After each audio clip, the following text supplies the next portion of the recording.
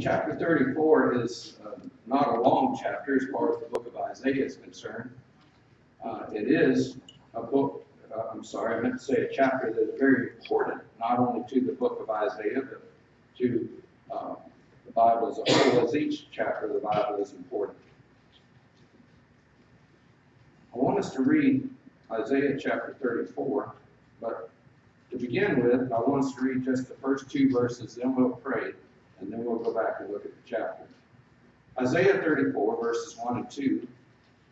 Come near, ye nations, to hear, and hearken, ye people. Let the earth hear, and all that is therein, the world, and all things that come forth of it. For the indignation of the Lord is upon all nations, and his fury upon all their armies. He hath utterly destroyed them, he hath delivered them to the slaughter. Now call your attention particularly to the beginning part of verse 2, where it says, For the indignation of the Lord is upon all nations. God is going to judge this world. There's no question about it. There's no doubt about it. It's coming. And that's what we're going to read about this evening. Let's pray. Lord, thank you so much for blessings. Thank you for your word so clear and so plain. And Lord, we just pray that your Holy Spirit would guide us into all truth this evening. Help us to have an understanding and help us to act upon that which we learn. Help us, Lord, to be better servants of yours. We ask this in Jesus' name. Amen.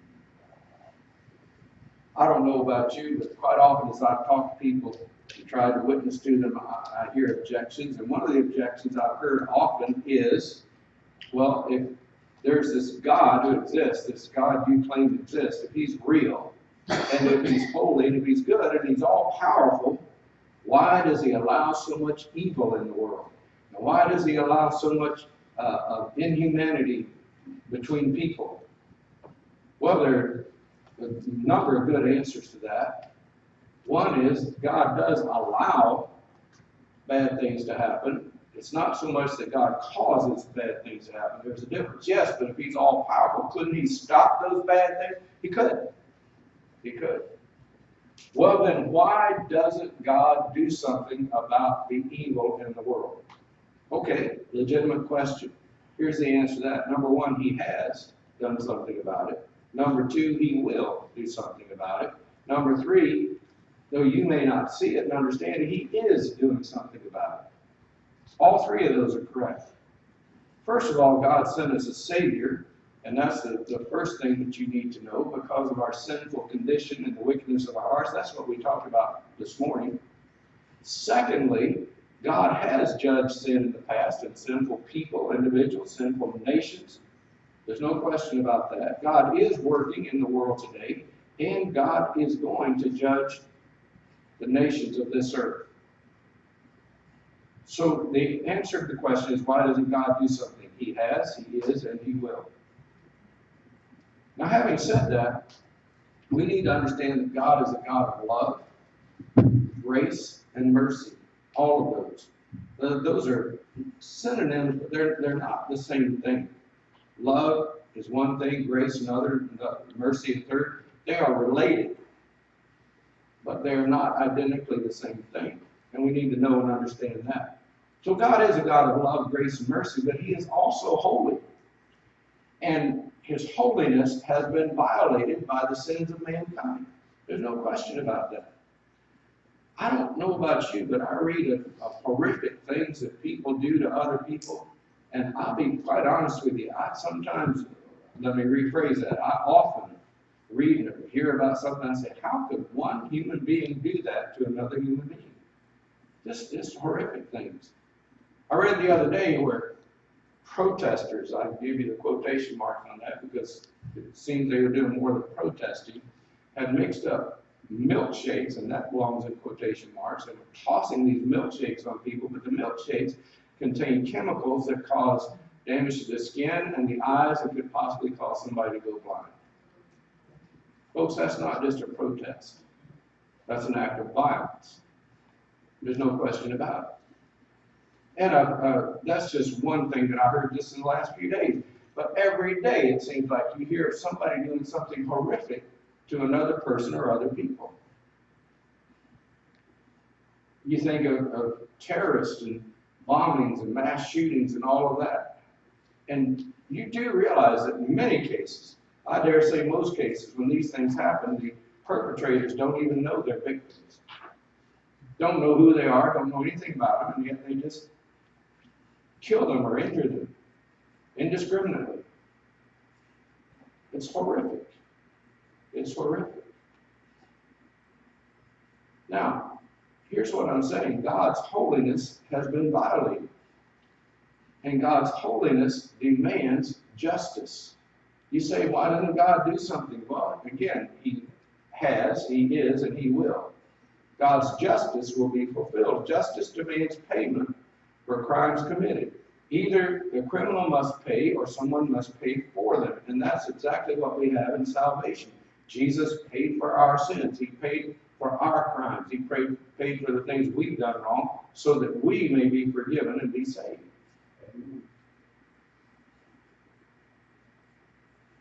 Sin must be judged. And God is going to judge sin. That's what chapter 34 is about. Again, chapter 35 is about restoration. We won't get there tonight, but uh, God willing, next week. In chapter 34, we're told of the judgment of the nations. Now, this is, without question, a prophecy of future events, though it names some people who were alive in the time that Isaiah wrote this. It is primarily a prophecy that is yet to be fulfilled.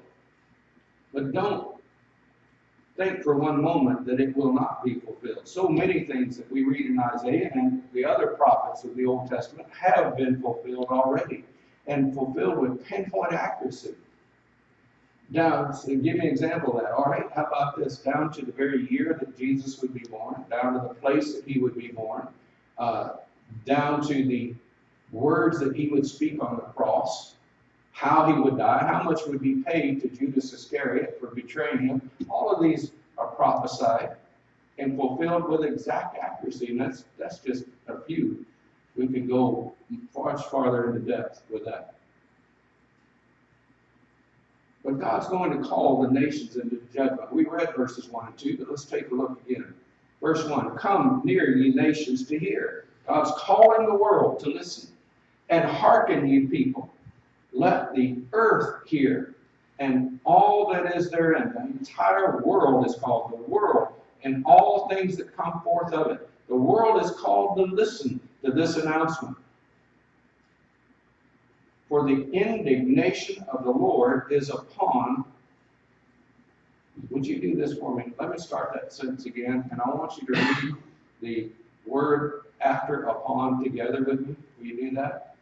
For the indignation of the Lord is upon all nations. Who does that include? That includes all nations. Well, not ours, all nations. The indignation of the Lord is upon all nations. Oh man, you anti-American, about as far from that as you can get. I'm a very patriotic individual. I consider myself to be so. One man, uh, and a good man. I, I don't mean to say anything bad about this fellow. I have a great deal of respect for him. Good man. But uh, we were talking, just having a conversation a few months ago, and he said to me, he says, Well, where in, in this in your family, where does all this patriotism come from? And I, I was surprised at the question, to tell you the truth. I really was. I felt like saying, What do you mean? Why wouldn't we be? well, that's kind of asking, like asking, why do you breathe? You know, I mean, it just it just seems natural to me. But nonetheless, God's word says the indignation of the Lord is upon all nations, and his fury upon all their armies. He hath utterly destroyed them, he hath delivered them to the slaughter. God is going to call all nations into judgment. And this judgment upon all nations is typified in this chapter by prophecy concerning one nation. That one nation, again, this prophecy for all nations. One nation is called up here as an example of what God is doing and will do, has done, is doing, will do. Take a look at verse 3. Their slain shall be cast out, and their stink shall come up out of their carcasses, and the mountains shall be melted with their blood. And all the host of heaven shall be dissolved, and the heavens shall be rolled together as a scroll. And all their hosts shall fall down, as the leaf falleth off from the vine, and as a falling fig from the tree. My sword, for my sword shall be bathed in heaven. Behold, it shall come down upon Idumea and upon the people of my curse to judgment. So God pronounces this judgment upon all nations. He talks about how he's going to destroy the armies of all nations. And when is he going to do that? Well, again, that's yet future. But then he mentions particularly Idumea. Now, Idumea is another name for Edom. Let's talk about who is Edom. Edom is a nation of the descendants of Esau.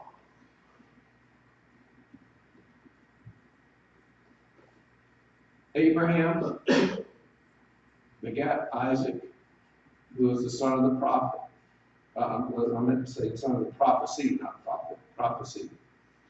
And then he had Ishmael, who was not the son of the prophecy, but the son of Abraham's will.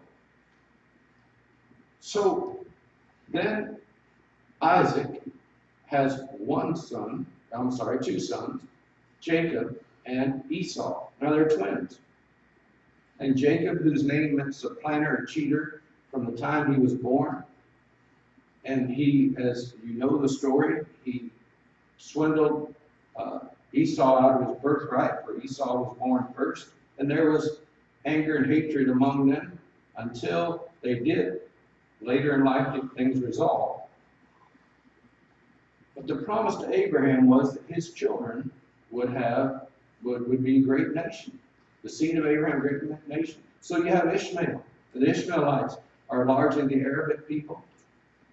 Then you have uh, Jacob and Esau. Jacob, whose name was changed to Israel, the father of the people of Israel, and Esau, the father of the Edomites, or the people of Idumea. Now, have we ever heard much about Idumea? Yes. Uh, king Herod the Great, the king at the time of Jesus' birth, was from Idumea. And that's pretty interesting because he was king of the Jews. He had that title, king of Israel, king of the Jews.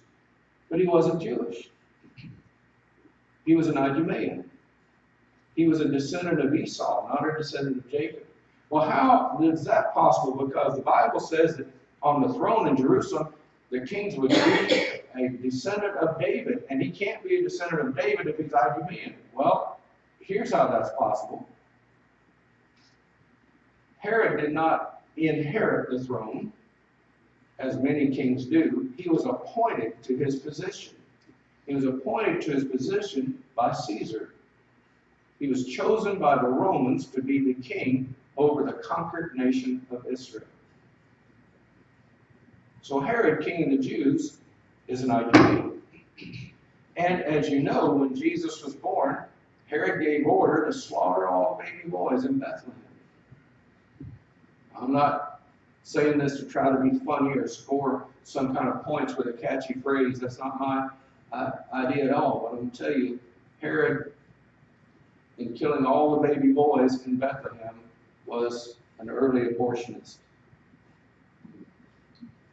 There's no question about that. He slaughtered innocent children because he didn't want this newborn king to take over his throne. Now you have to think about this. Herod was not a young man when this happened.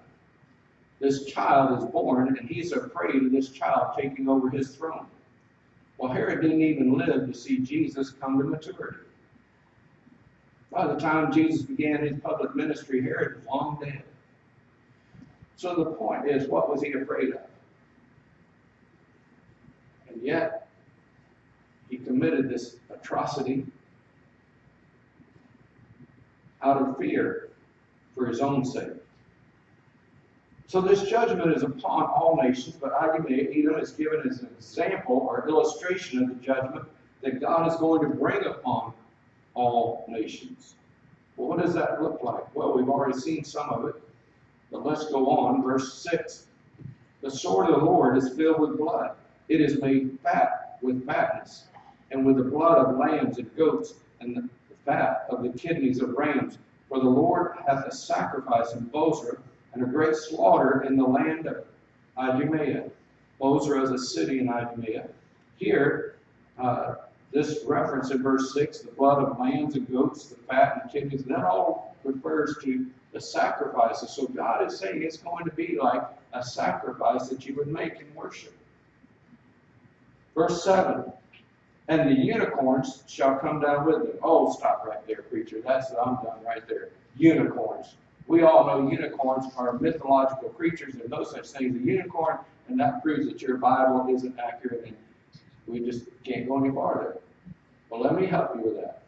The word unicorn there, you think, well, that means a pretty little horse that maybe has wings and, and maybe is pink and blue colored uh, and, and, and has this uh, candy striped horn growing out of its forehead and so forth, and that's the image you get. The word unicorn here simply means one horned animal. Now, here's my question to you Are there any one horned animals in the world? If you think about it, you can say, well, yeah, as a matter of fact, there are. Okay, good enough, unicorns. That's all it means, one horned animal. It doesn't necessarily mean a little pretty horse with, with a horn growing out of its head and brightly colored and maybe wings and, just fulfills all your fantasies. Doesn't mean that. Doesn't mean the great white horse that you see flying out of the movie screen. Doesn't mean that. It means a one horned animal. So the unicorns shall come down with them, and the bullocks with the bulls, and their land shall be soaked with blood. What land? The land of Uh, Idumea uh, or Edom. And their dust shall be made fat with fatness. Watch verse 8 carefully. For it is the day of the Lord's vengeance.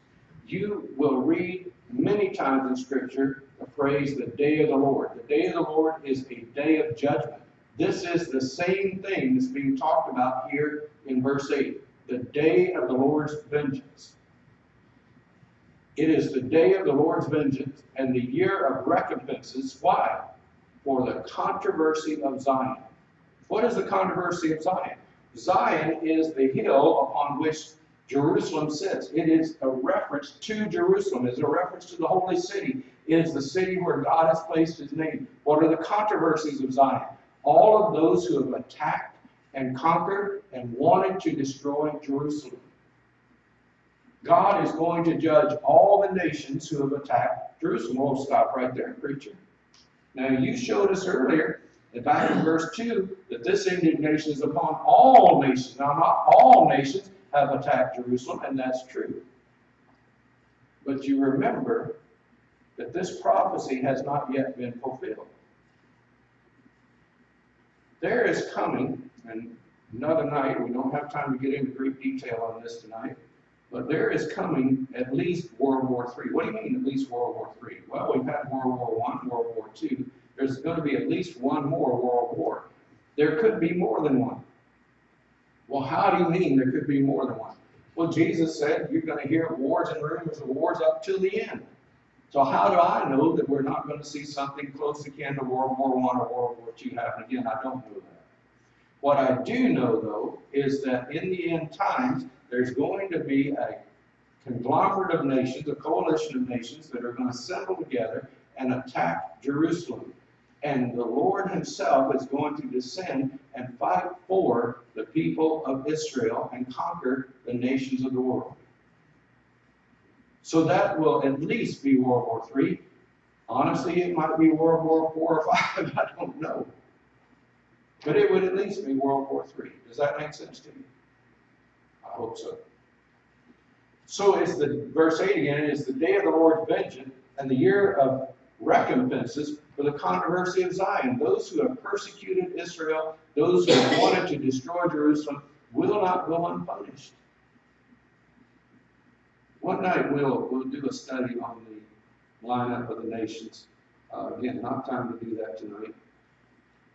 But you'll see, I think, exactly how it talks about the nations of today. Verse 9, and the streams thereof, the streams of the land of Idumea, shall be turned into pitch, and the dust thereof into brimstone. We talked about this recently. What is brimstone? We use that word a lot, most people today don't, I don't know brimstone. Hell and fire and brimstone, it's what you preachers always talk about. Well, what is brimstone?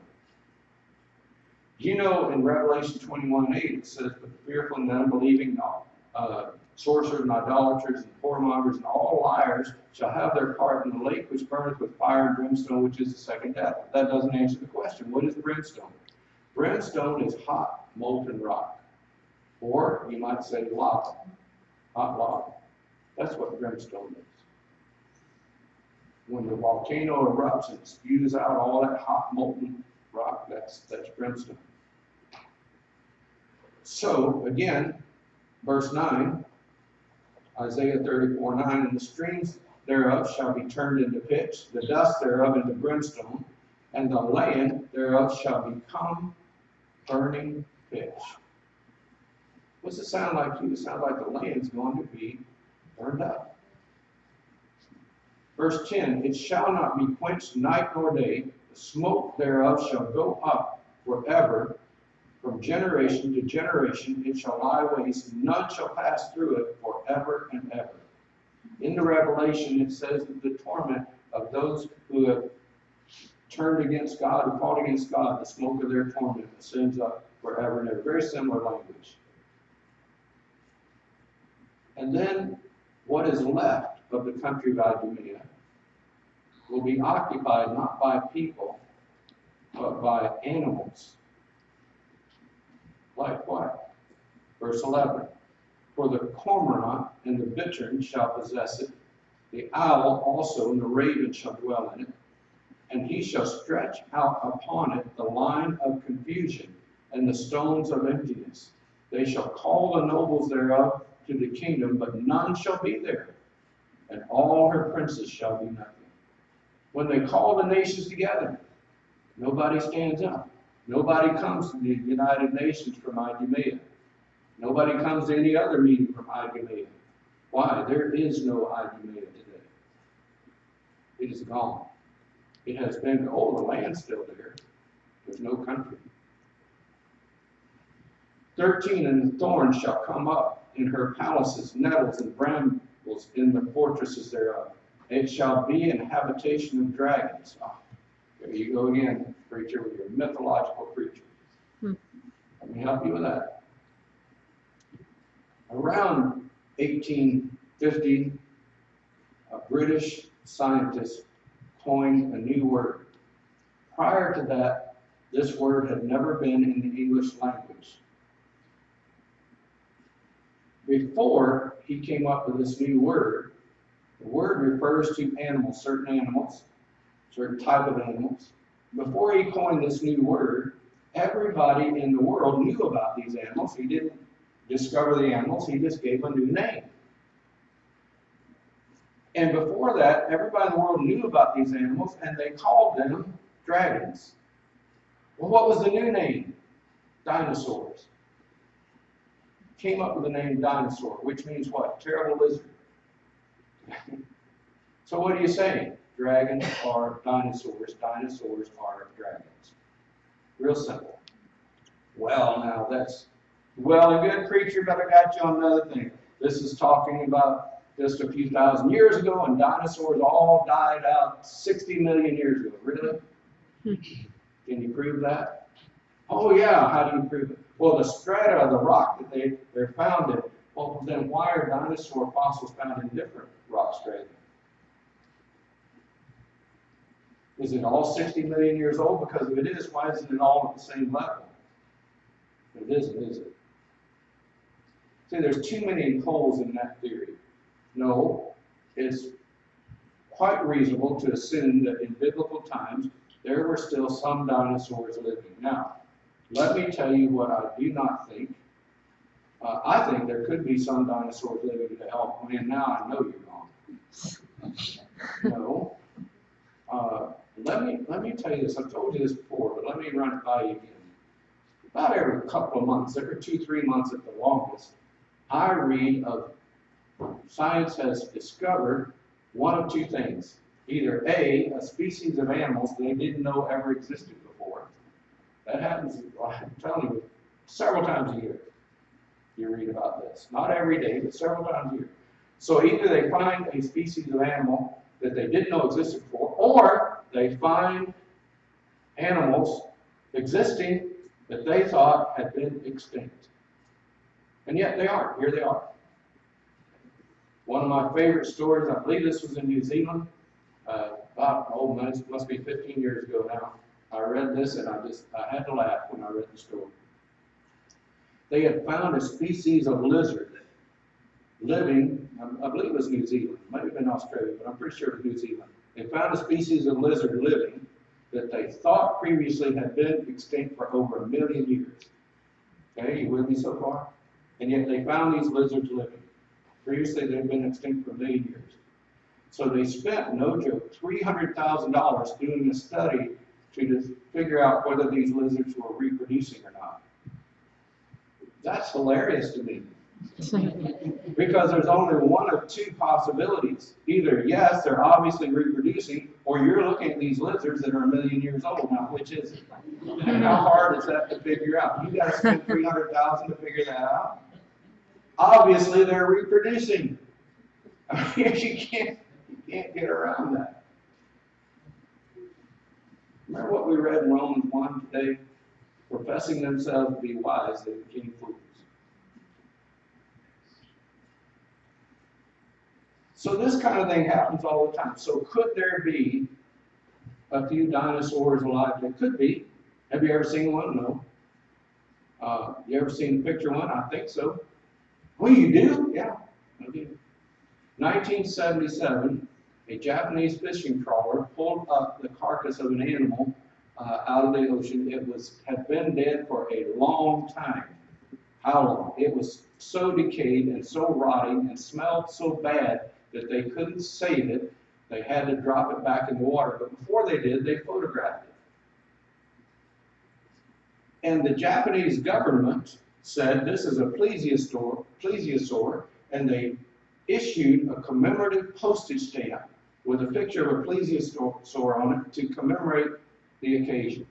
Now, in recent years, people come on and say, oh, no, no, that was no plesiosaur, that was a whale shark. I have seen this photograph and looked at it, and that is no shark.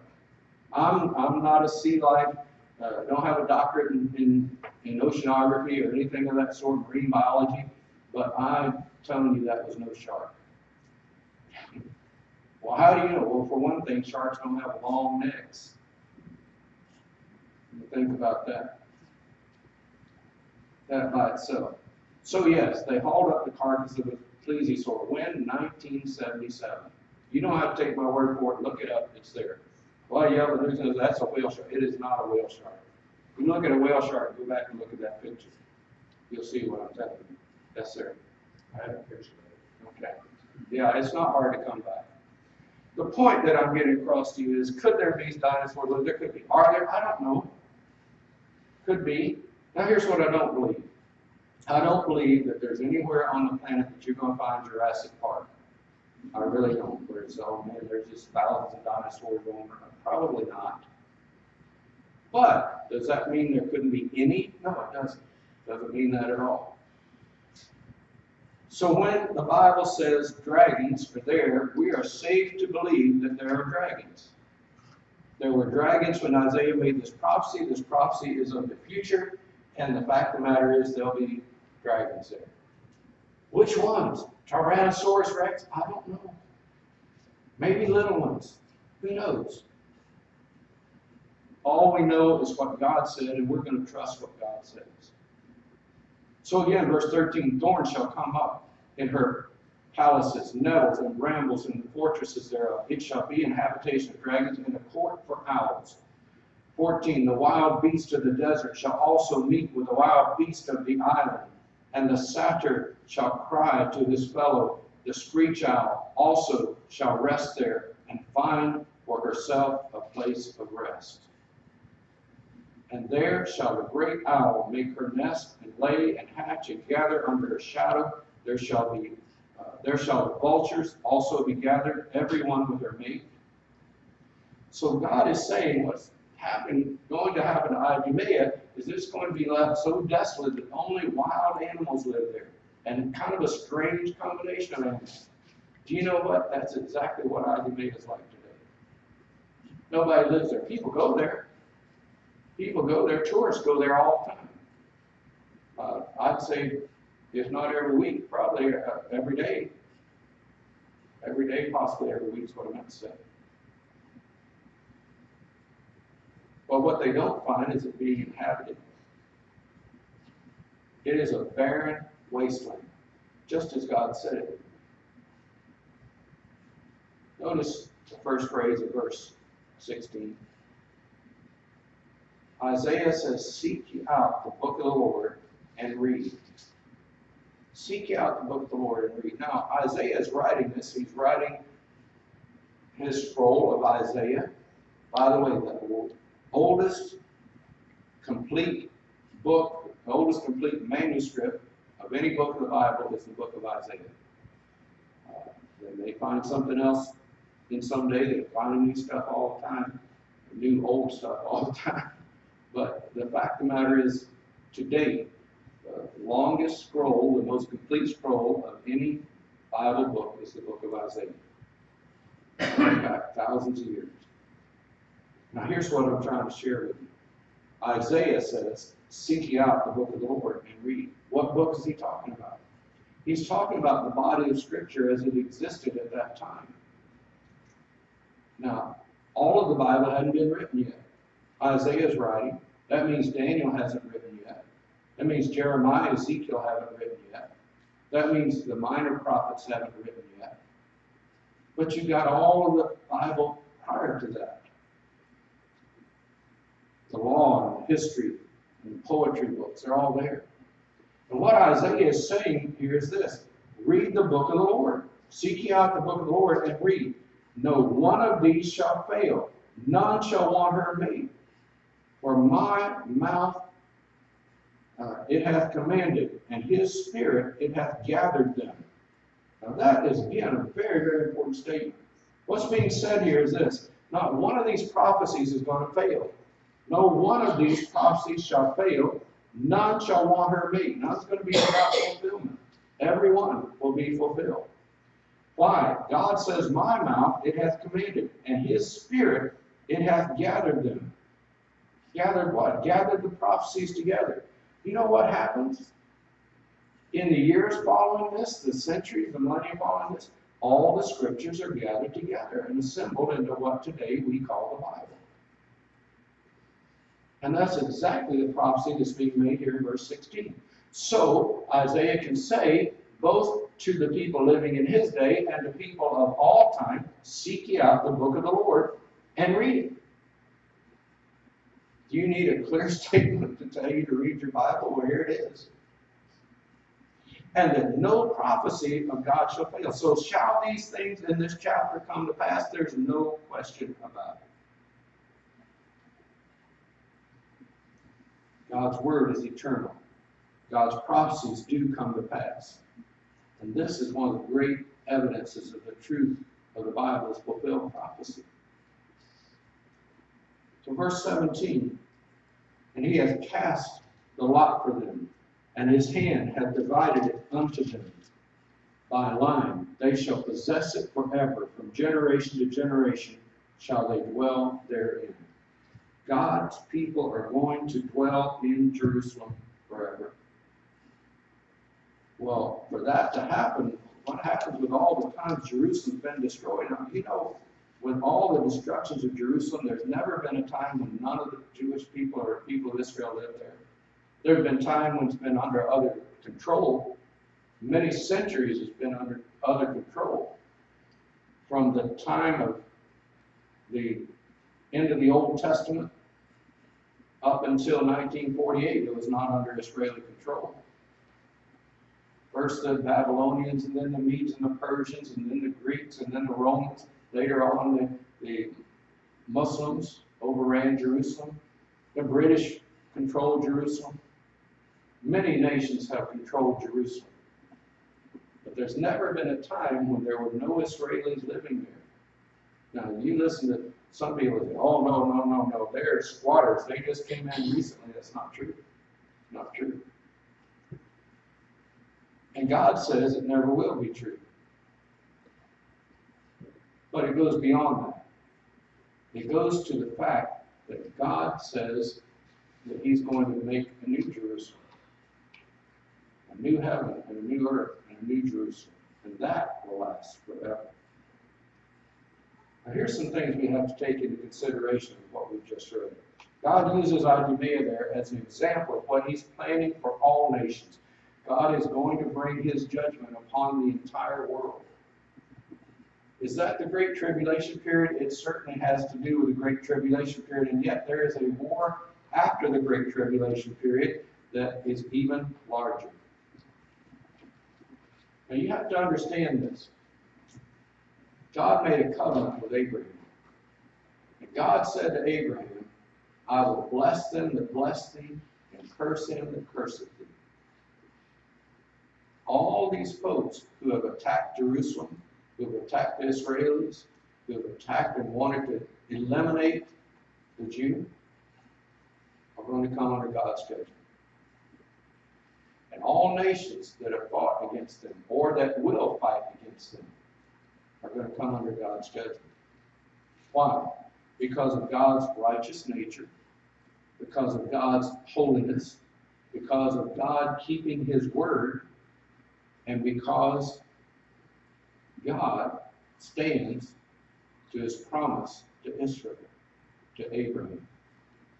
Now, folks, what does that have to do with you and I sitting here today? Well, a great deal.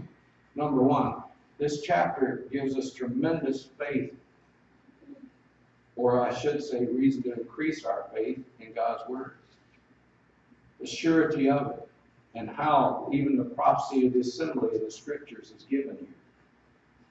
But in addition to that, and very important to understand this, it tells us what God is going to do, and God is going to judge the wickedness of this world.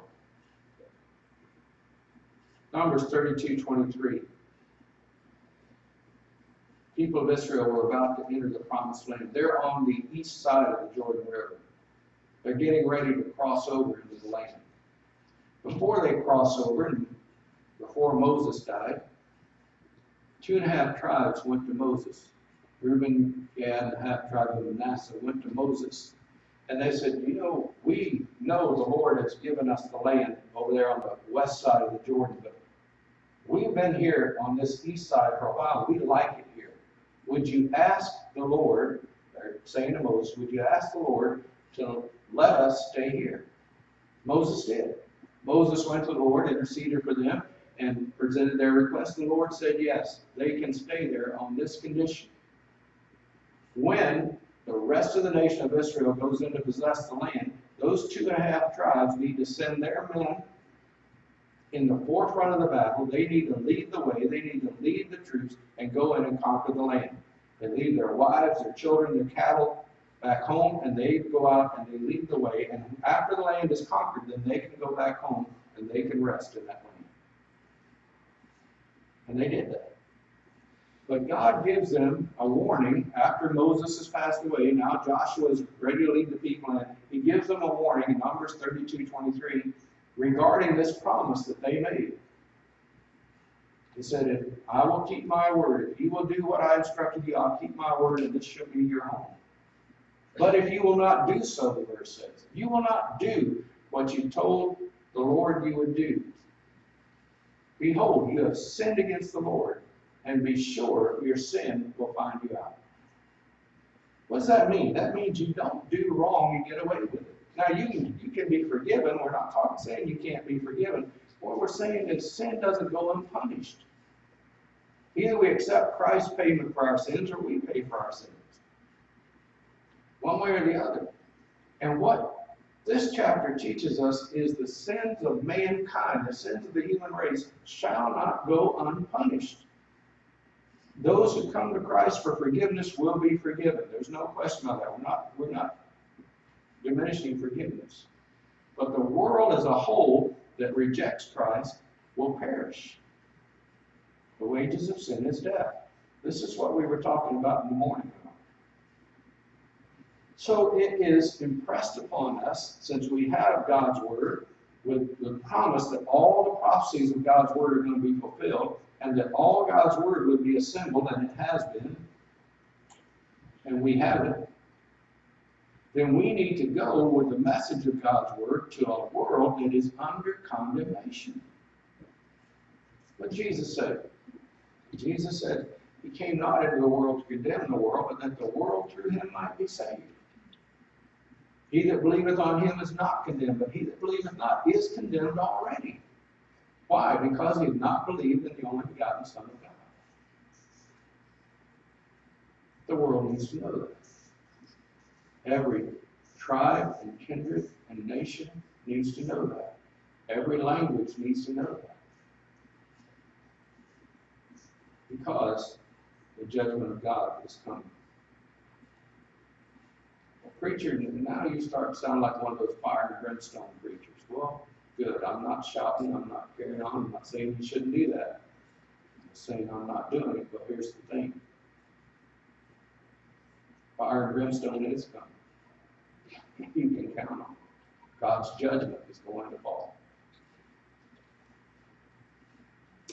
I said several times we don't have time to go into that lineup of the nations, but you can find it in Ezekiel chapter thirty-eight, and you're gonna find there that some of the nations that are going to attack Israel, whom God himself is going to fight, would be Russia, Iran, called Persia there, Germany, Turkey, other nations that are in the news today are going to line up in a great coalition and attack Jerusalem. And God is going to fight against them. Again, want to look it up, Ezekiel 38. You can read it for yourself. Let's pray. Father, thank you so much for blessing us. Thank you that we know that while you are our Savior, and you are a God of love and mercy and grace and forgiveness. Lord, you're also the God of holiness and righteousness. You cannot abide sin and will not allow the sin to go unpunished. Lord, our world is spinning on towards the day of the Lord, the day of God's judgment. Help us, Lord. Help us to pray for the lost. Help us to reach out to the lost. Help us to do everything we can to share your gospel that others might be saved. Heads are bowed, eyes are closed. We're going to sing a hymn of invitation. God's spoken to your heart, the altar's here if you need it. Father, bless and move in this time, we pray. In Jesus' name, amen. Let's stand together. Hymn number 397.